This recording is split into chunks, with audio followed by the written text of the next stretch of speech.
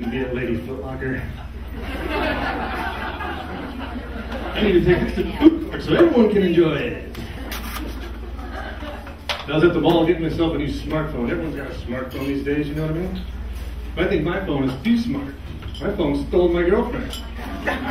Caught in bed together, you know, the little backlighting was on, Pandora radio playing smooth jazz, and that son of a bitch was on vibrate.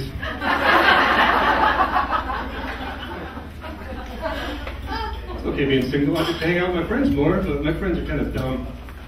The other day I was talking to one of my friends and the word juggernaut came up in a conversation. And he looks at me and goes, What's a juggernaut? I couldn't believe it. I'm like, Are you that stupid? Really? It's an astronaut with big boobies. Moron. It's the same guy that comes over to my house and he looks around and he's like, Dude, your furniture's gay, man. So I happen to know this is a heterosexual, okay?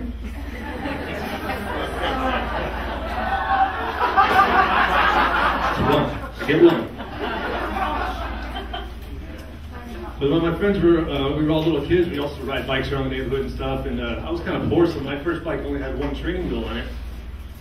So I got really good at riding clockwise. One time my buddies came over, they're like, hey, we're all going over to Billy, we're gonna play some baseball, you wanna go? I was like, yeah, I do. Wait, are there any left turns? Because if there are, I can't go. See some of you guys are drinking, that's good. I made up a drink of my own once that has uh, light rum, dark rum, and laundry detergent. It's called a Mai Tai. Makes you drunk and fresh as a spring meadow. You know what else people are doing to get high or whatever you want to call it? They're snorting bath salts. That's dumb, man. You know how I know these people are dumb? Last month, 32 people drowned.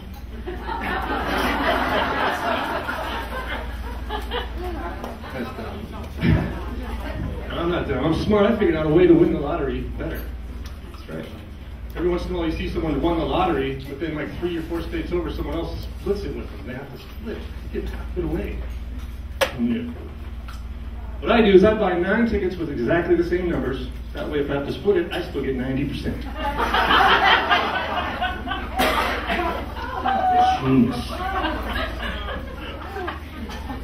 Not only am I smart, I'm also a smart ass. So, uh, you ever get pulled over by the cops? They always ask the same thing. Do you know why I pulled you over? Shouldn't you know that already? So I'm a smart ass. So last time I got pulled over, he says, Do you know why I pulled you over? Because I'm riding on four donuts? No. Because I run a brothel out of my back seat? Because you got mad with syphilis? No, you killed four people in 2008. All right, I forgot about that. So right about now, I thought I was in some trouble. But I'm white, so he let me off with a warning.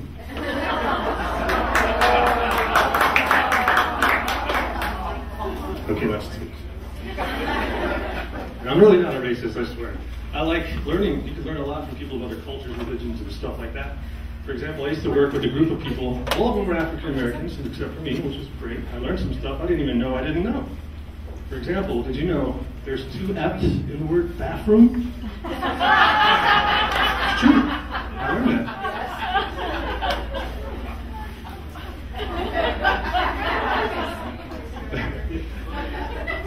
Come down, I do some comedy. You know, there used to be a saying that was really cute, you know, used to say, good night, sleep tight, don't let the bed bugs bite. That was really funny until we got infested with bed bugs all over the country, right? Very funny now. Now it's like, good night, keep your mouth shut tight. Those bed bugs will get in there and harvest your organs. Sweet dreams, Jenny.